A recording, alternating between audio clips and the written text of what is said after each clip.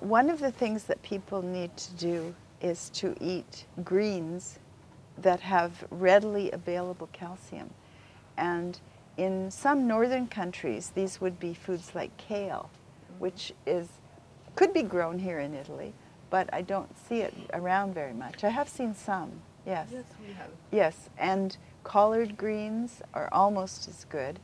And Napa cabbage, it's a white, white at the base, and it, it's light green. And these foods have calcium in them, but the calcium is very well absorbed. So people would be eating a lot of kale. And, and it, if you just took a leaf of it, it would be like eating a piece of rubber. It's not very easy to eat. But you, if for a salad, you cut it matchstick thin, cut it very thin. Or sometimes people will put some in their smoothie. So they'll make a smoothie of bananas and blueberries and kale. But you have to go through quite a bit of greens to get the calcium.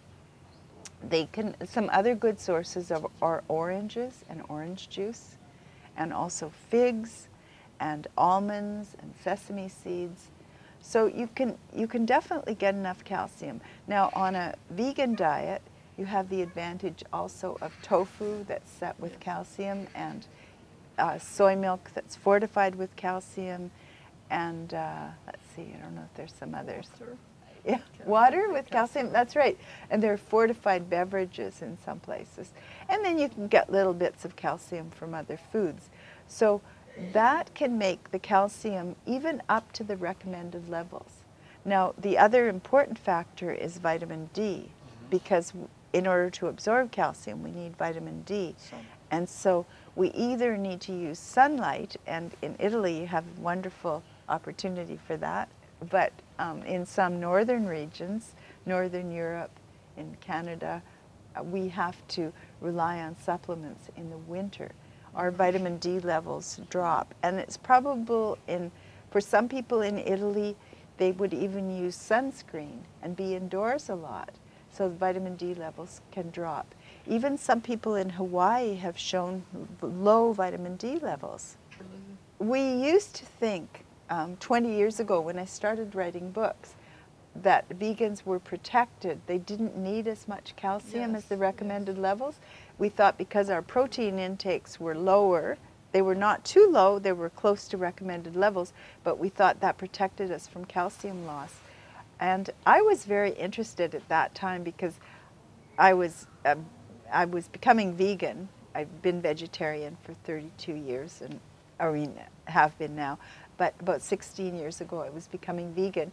I have been very interested in calcium levels because as a woman growing older, I could track my own bone density, and I've had that done since I was 60.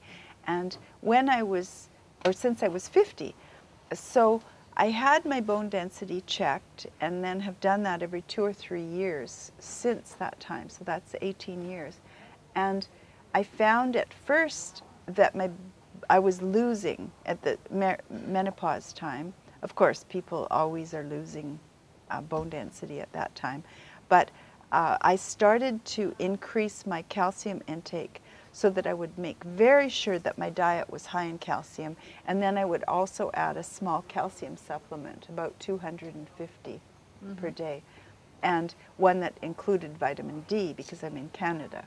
Yes. And so uh, at that point, my bone density leveled off, and then I made sure that I also did an hour of weight-bearing exercise a day, mm -hmm. so that I would always be doing that. And my bone density has actually increased recently, How do you check very your slightly. Bone density? Well, in Canada, we can have you can have a it's like an X-ray sort of thing, and they they check at strategic points just to make sure is what, it expensive? Uh, in Canada, it's not expensive. Mm -hmm. It's part of the medical plan, and they would do that.